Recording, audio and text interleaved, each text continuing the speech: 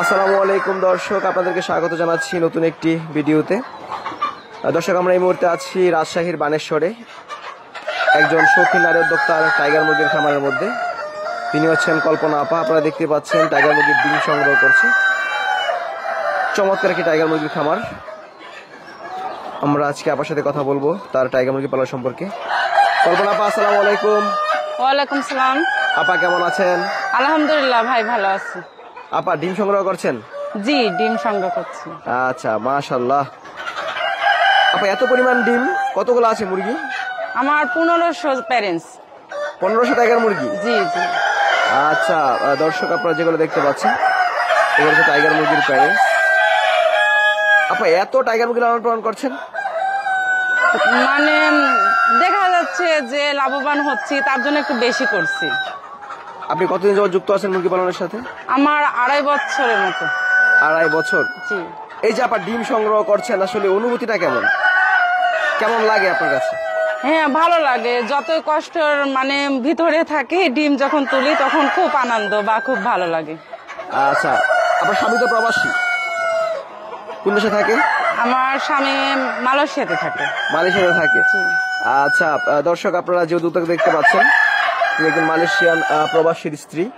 তিনি নিজের পরিশ্রমের মাধ্যমে গড়ে তুলেছেন চমৎকার একটি টাইগার মুরগির খামার। মাশাল্লাহ আপা প্রতিদিন ডিম কেমন পান? ডিম আমি বারো বারোশো তেরোশো।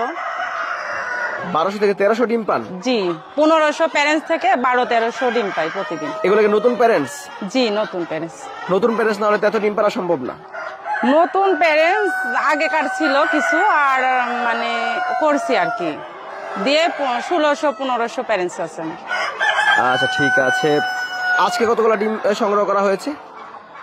আজকে বারোটা বাজে তো এখন আমি আটশো পাইছি। তারপর সারাদিন পারবি। আচ্ছা কতবার ডিম সংগ্রহ করেন? হ্যাঁ তিনবার করে দিনে তিনবার করে ডিম সংগ্রহ করি। এখন করলাম বারোটা আবার তিনটা তারপরে বিকালে। মানে দিন তিনবার করে সংগ্রহ করি ডিম। আচ্ছা দিনে তিনবার ডিম সংগ্রহ করেন? জি জি। এখান থেকে ডিম বিক্রি হয় নাকি বাচ্চা বিক্রি হয়? হ্যাঁ আপনার বাছাই করি যেগুলা সেগুলা হচ্ছে খাবারের জন্য বিক্রি করি। আর যেগুলা হলো বীজ ডিম ওগুলো মেশিনকে ঢুকায়। আর কেউ যদি না ছেড়ে তখন বিক্রি করি আর কি। মানে আপনার এখানে ডিমও বিক্রি হয় বাচ্চাও বিক্রি হয়? জি সবকিছু বিক্রি হয়।